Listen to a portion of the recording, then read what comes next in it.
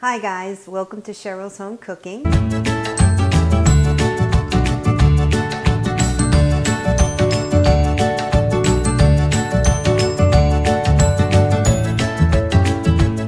Hey guys, welcome to Cheryl's Home Cooking.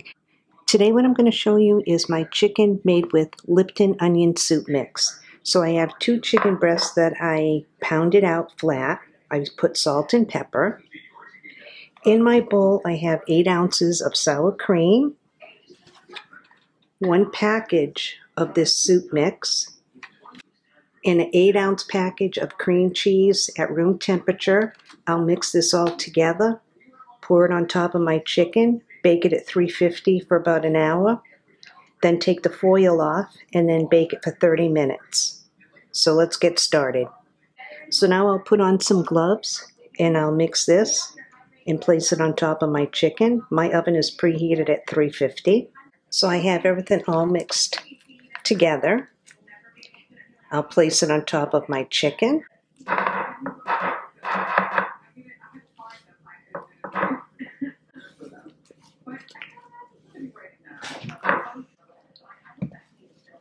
So now I'll take my spatula and spread it on top of the chicken.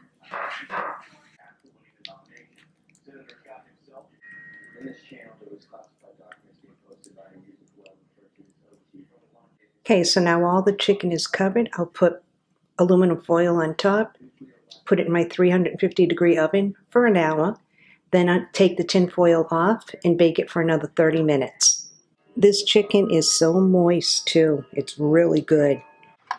I'm going to serve my Lipton onion soup mix chicken with this pasta. So I'm just going to make enough pasta for two people and cook it according to the directions on the package. I'm also going to serve green beans with it. You can use any kind of onion soup mix. You don't have to use Lipton. You can use store brand. So I guess instead of calling it Lipton onion soup mix chicken, I should just call it delicious chicken because that's what it is, delicious chicken. And this is my delicious chicken. This is what it looks like. You can serve it over rice, but I chose pasta. And some green beans. Well, thanks so much for tuning in to another episode of Cheryl's Home Cooking. I'll see you guys next video. Bye-bye.